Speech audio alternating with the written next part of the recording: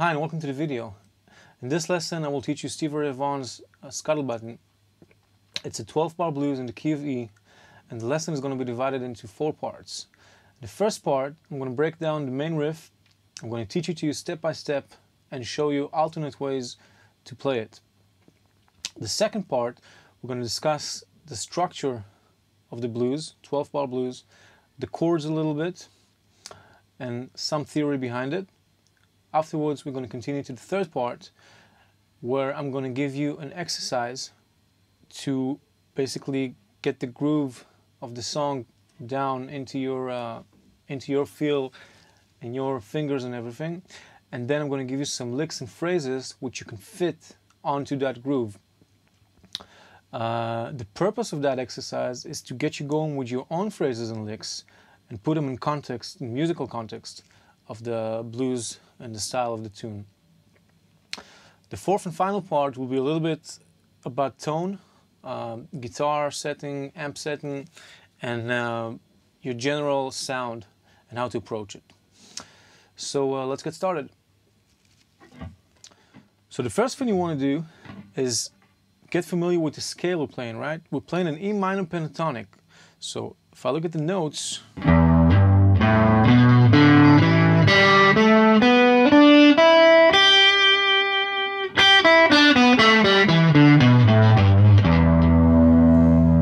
It's a five note scale. We have E, G, A, B, D, and E, and then repeat it an octave up. All right, so now that we have the scale under the fingers, let's look at the riff itself. We start off with the third string, second fret, the A note, and the second finger. So we do a slide up to the B note, the fourth fret, like so. Then we play the second and first string open, like so. Then back to the second string open. A slide from the third fret to the fifth fret, the D to the E. And then play the first string open. Then we take the third finger, place it on the D note on the second string, third fret. Pull off, onto the third string, third fret, the A sharp note, pull it off to the A note, and then from there pull off to the third string open, the G note. And then back to the E note, uh, the tonic, the fourth uh, string, second fret. So very slowly, the riff will go like this.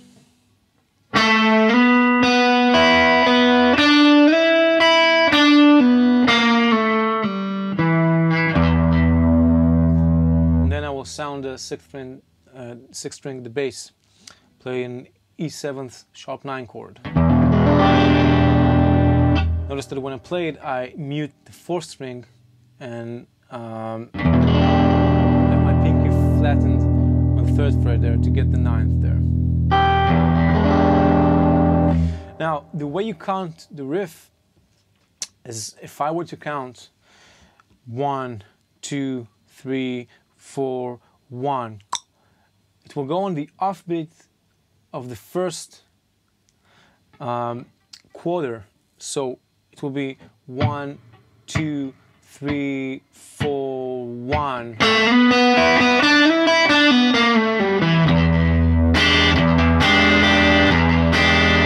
Okay, so that's the time that you're uh, looking at. Again, one, two, three, four, one.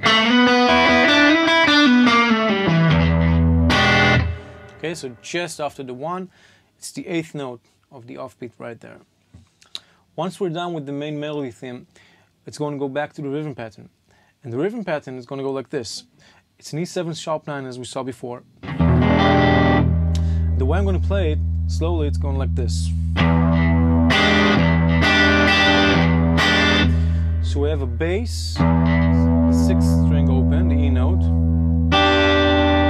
the chord, the bass again, twice on the chord, up and down, sorry, down and up, then the sixth string open, and then another strum uh, downwards.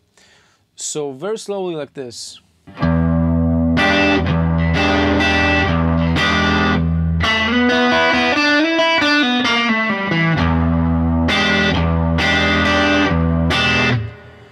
Okay, so if I count it, one, two, three, four, one, da, ga, da, da, da, da, da, da. It's that rhythmic pattern that flows throughout the tune.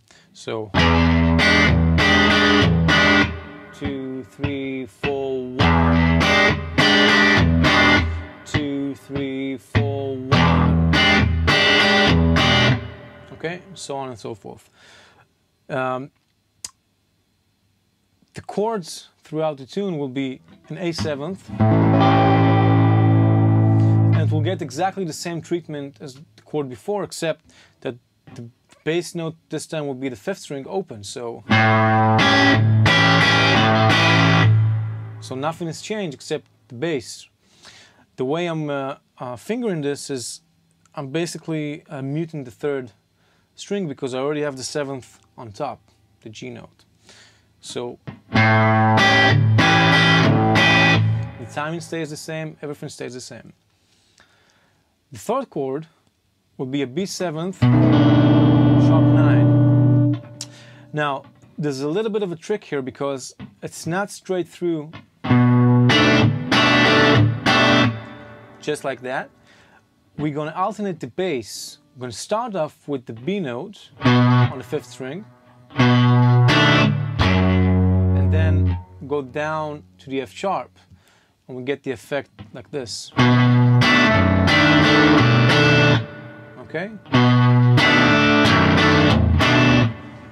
And you can play around it and see what fits what you like most. There's plenty of ways to play it rhythmically where you change the bass, but the way I like to do it is sort of on time. It goes one, two, three, four, three, four, bum, bum, bum.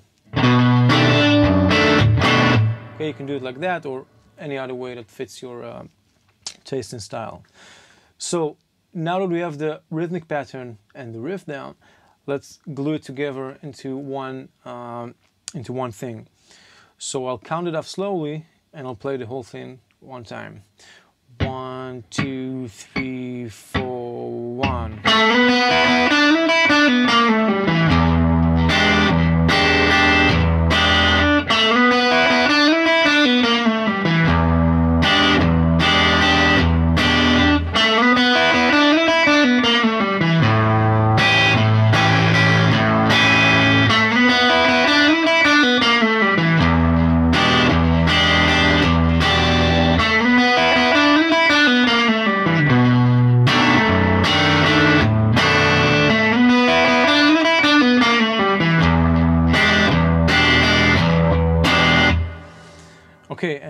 We get to the last bar, we go instead of the regular. Okay, we delay the last strum like this. One, two, three, four, one. Okay, so it continues on to the next uh, riff because it goes on twice. So essentially 24 bars before the solo starts. Okay, and one last important thing before we move on to the second part will be alternate ways of playing the same uh, melodic theme. Now, Stevie Ray Vaughan himself plays it differently a lot of time when he plays it live. For instance, the first thing you can do is if you look at the A going into the B, there's two ways you can do it. You can basically slide inside to the B, or if you want, you can bend the, uh, the A note to the B. And then if you do that, you have the same option with the second string, the D note, going into the E. Instead of sliding into it, you can bend into the E.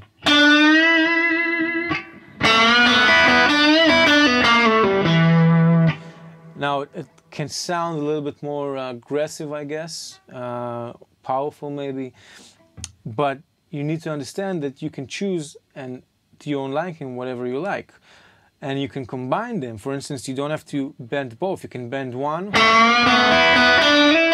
slide on the second, or slide on the first and bend the second.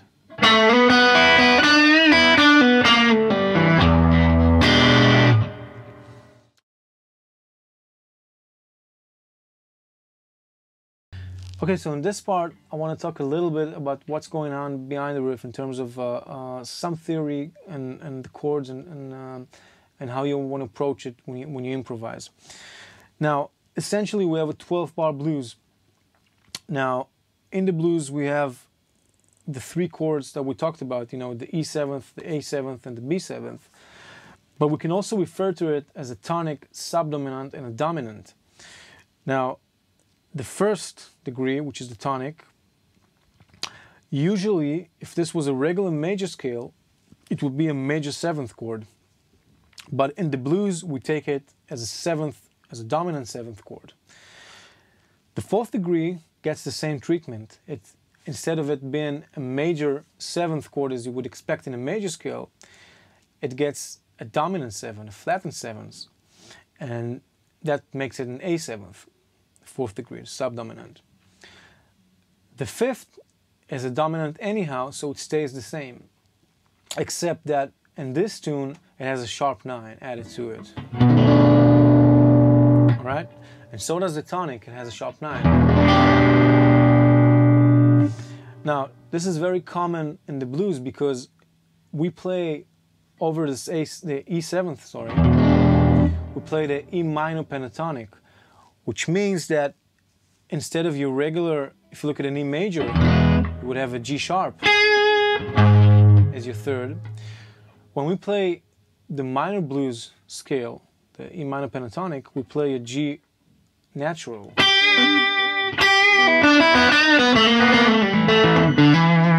Now that's not to say that we cannot play the the the, the sharp, the, the G sharp. We can play it, and we do play it but uh, the sound of this particular tune, the scuttlebutt, it's, it has the sharp nine.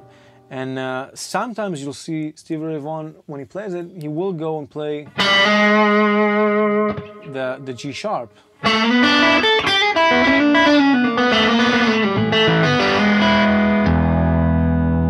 and you can combine uh, the G sharp and the G natural in your playing while you're on the E will get a different sound, the major and the minor. It's sort of cool to, to experiment with it.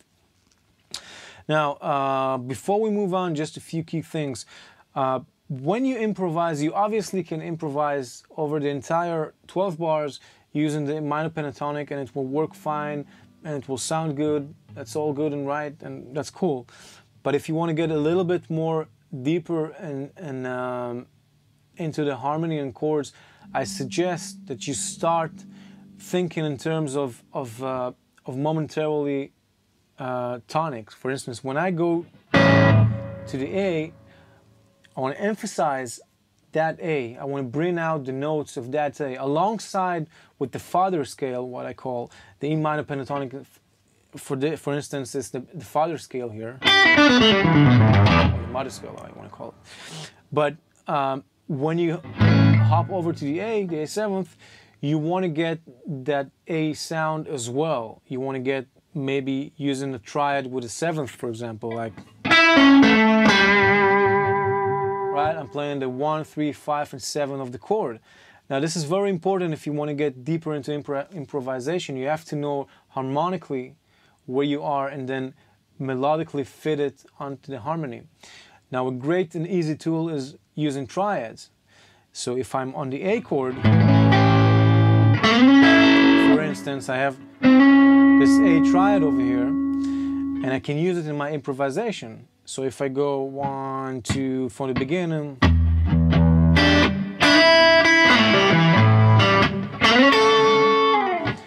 so all I did there was going to the triad, and essentially I get the sound of the A. Now you can combine that with the the mother or father scale, the, the minor pentatonic of the tune you're in.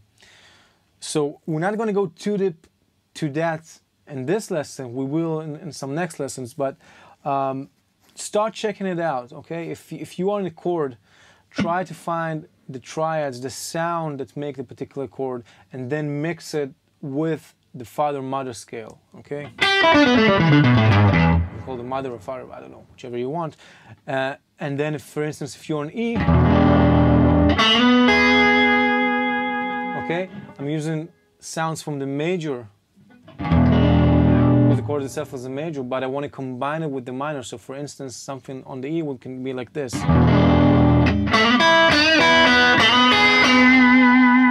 Okay, you, you combine two sounds, and that's great for improvisations, uh, particularly for this style because uh, Steve himself did it all the time.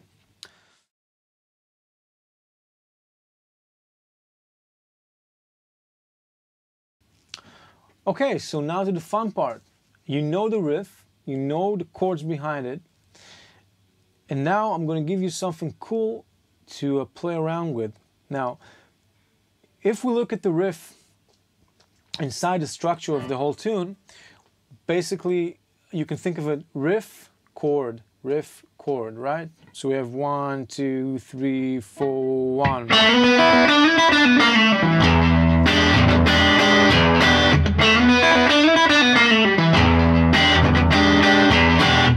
Let's say we take the riff out, okay, and we just are left with the chords.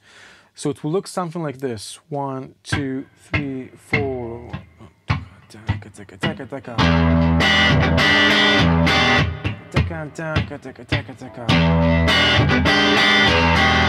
Now, once you have this going, you have the groove, everything is cool, and the gaps you have where originally the riff was, start placing your own phrases. Start making phrases from the pentatonic scale, from the triads we talked about earlier, from anything that sounds good to you. The most important thing is that A, it will sound good in terms of harmony and, and obviously melodically and rhythmically. But the most important thing is to be on time when you set out to do the lick and then when you go back to the riff.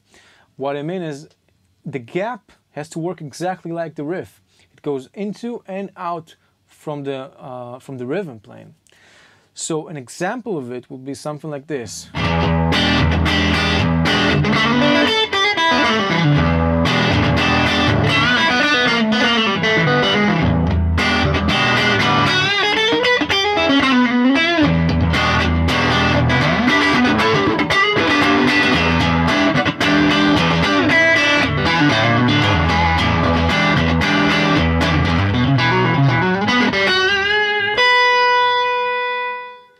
Okay, so let's see how this works in practice.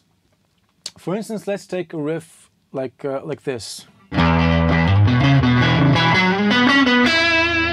It's just a, a, a common uh, run on an E, on an E chord. Now, I don't have to play it exactly like this, but what I, what I do aim for is I want to take this concept and I want to place it in the gap between the rhythms that I play and I want to build something from it on the improvisations. So I start off by playing um, the rhythm and then leaving the gap so I can feel the groove in the time. And then after a few times, I have it in my head and everything, I start adding in the lick until I feel that it sits and I can move on to a different lick. So that's how you do it.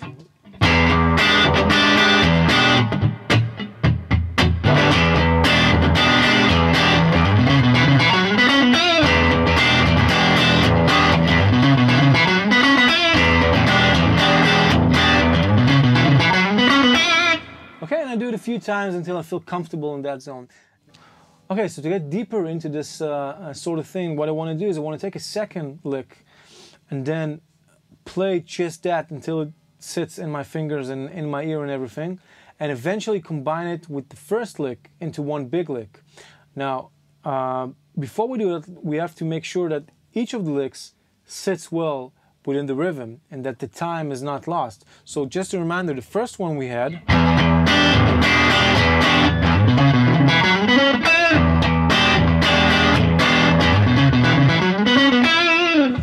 Okay? The second one we're going to add is going to be like this.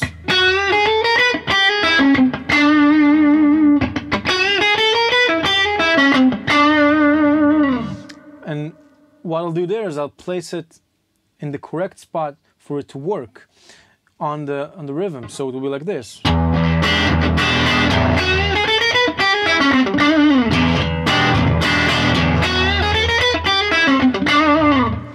Okay, so you get the idea. You want to get as many licks as, and as many phrases work in this manner. Now, I want to combine the two and make it into one big lick. Now, obviously, the, the gap will have to be bigger, so I'll have to end up on time and go back into the chord. And out from the chord, I have to go out on time as well. So just to make sure we understand, we're on the same spot, the two licks combined will be something like this.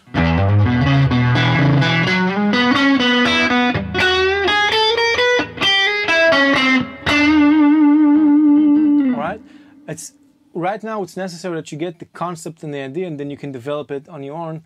Uh, not necessarily play exactly what I play, but get it inside your fingers in, in your head, and then you'll have, be able to do uh, whatever you want to do with it. It will help you to develop yourself as a, as a player, as a musician. So let's start off slowly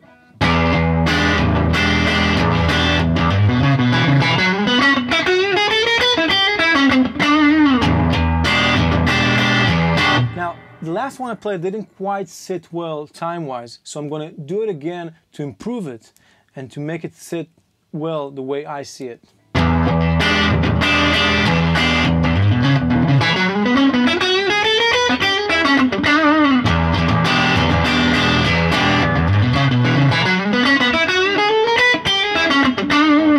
All right, and then slowly up the tempo.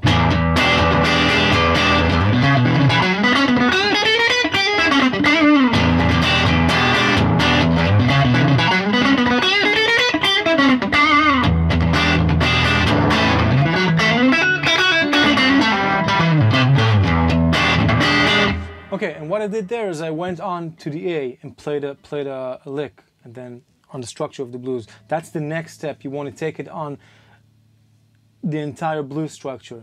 After you've done each and every chord by itself, and you've done quite a few licks, and you have those under your belt in your toolbox, so to speak, you uh, you want to take the blues at the, the, the normal tempo and do this exercise. And let me tell you, this is one of the best exercises um, that you'll ever get to play. It, it, it, it, basically works on everything. It works on musicality, which is the most important thing. It works on technique, it works on sound. And all those things put together are what makes you uh, a, a player, a good player, a musician. And that's what you want to aspire and aim for.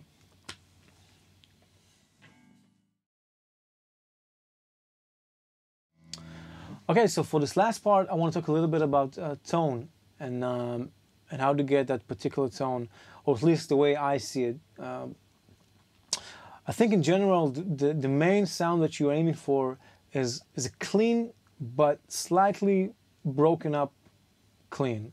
So a little bit overdriven maybe. Um, it's a matter of taste, of course, but in general, that's the main thing you're looking for. Not too many effects uh, I play without any effects and I add sometimes reverb, but other than that, it's, it's very straightforward, nothing uh, special there. Um, I think you should work on dynamic range with your right hand. You want to be able to pick, to really get into the string, you know, you want to really get.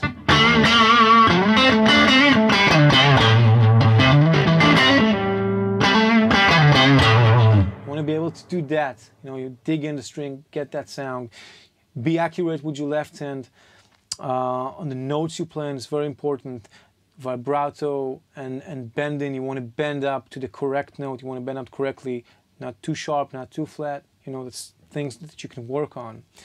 Um, you know, for guitars, I guess it's pretty straightforward to go with a with a Stratocaster. That's not to say that a that a Les Paul type of guitar or a or Telecaster type of guitar would not work. They would. But uh, if you're particularly into uh, Stevie Ray Vaughan, I would probably go with a Strat. You know, experiment with the pickup settings. You want to maybe place it on the neck. Uh, you know, just take just take a, a, a riff or a lick and experiment with, with how it sounds. You know, if you take something like a that's that's the next sound. If you bring it down one step, give you this sort of sound, and it's the middle and in between.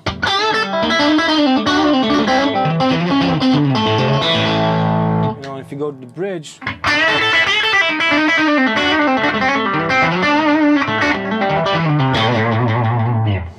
So you know you have to experiment like on, on things like that. Uh, the last bit, I guess, is is the choice of your amp. Uh, to me, it's very simple. I, I, uh, found an amp that's that's not too complicated. You know, it's it's uh, it's tube based, and then um, I I want to get that that you know slightly broken up clean sound, uh, overdriven a little bit maybe and you can experiment with those settings and, and, you know get your tone. Eventually your fingers and hands and everything will come together and it will tune to what you hear in your head. And that will work as one unit. Um, and i guess the last thing is that listen as, as, as much as you can for, for, for that tone for players you like. You know if it's if it's uh, if it's stevie ray vaughan then you know know know the songs know the tunes uh, learn them as much as you can, get a lot of info on what gear he used, and just you know try to get it down and work on it. So I hope this was uh, helpful to you, and uh, I'll see you in the next lesson. Take care.